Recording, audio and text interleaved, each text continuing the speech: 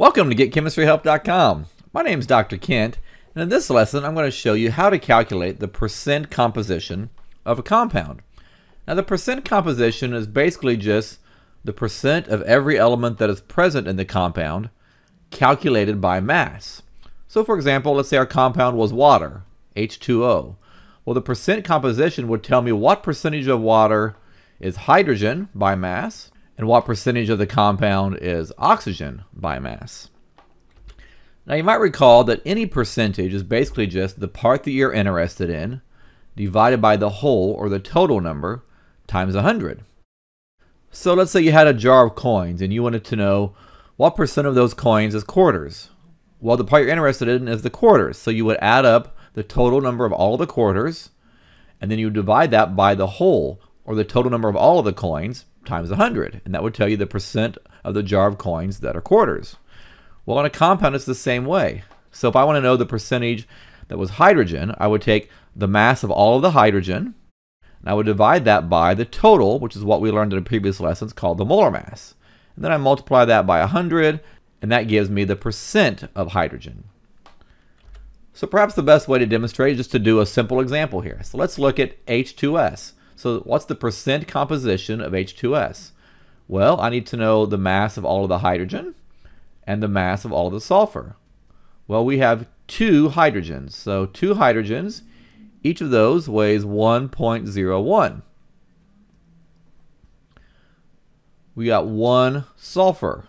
So one sulfur, that has a mass of 32.07. So the total mass of hydrogen is 2.02. The total mass of sulfur is 32.07.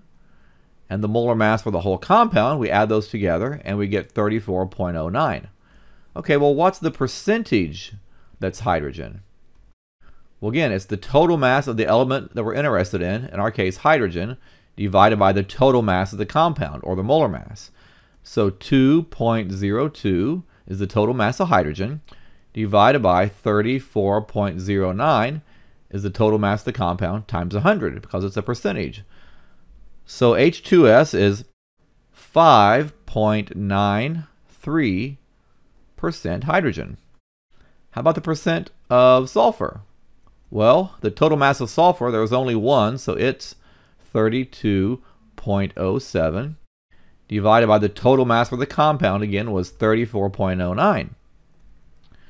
So we take that times 100. This is 4 sig figs over 4 sig figs this time, so 94.07% oxygen. Now one quick way that you can always kind of check your answer to make sure it makes sense is to add your percentages together, and they should add up to be 100%. You might be off by a hundredth or so, just because of significant digits. So if you get 100.01 or 99.99, that's probably close enough. Okay, so how about number two here? Well, C6H12O6. This is a compound you might have heard of called glucose. This is a sugar that's used in our body as an energy source. So the percent composition means I want to find the percent carbon, the percent hydrogen, and the percent oxygen. Okay, well, what's the total mass of the carbon? Well, I have six carbons, and they have a mass of 12.01 each. So 6 times 12.01 that's a total of 72.06. For hydrogen, I have 12 hydrogens. Those have a mass of 1.01, so 12 times 1.01. That's a total mass of 12.12.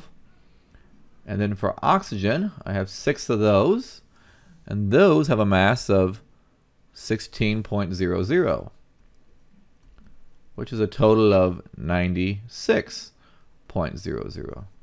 So we add those together, and the total mass of our compound comes out to be 180.18. Okay, well, what's the percentage of carbon? Well, it's the total mass of all of the carbons, all six carbons, so 72.06, divided by the total mass of the compound. So the part we're interested in, carbon, over the whole, 180.18 times 100. So this gives me 39.99% carbon. Okay, how about the percent of hydrogen? Well, the total mass of all 12 hydrogens was right here, 12.12, divided by the total mass of the entire compound, 180.18, and again times 100 because it's a percentage. So it's 6.727% hydrogen. And how about the percentage of oxygen? Well, the total mass of all six oxygens was 96.00. So 96.00 divided by the total of the compound was 180.18. And again, times 100. So 53.28% oxygen. So there you have it. This is the percent composition for glucose broken down by percent carbon, percent hydrogen, and percent oxygen.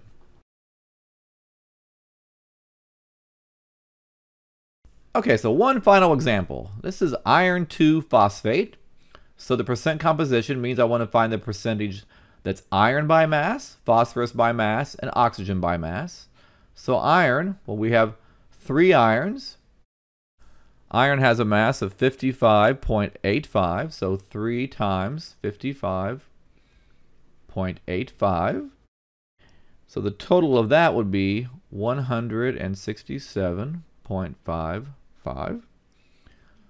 Phosphorus, well, we have 2 phosphorus, so 2 times the mass of phosphorus, which is 30.97. So 2 times 30.97 is 61.94.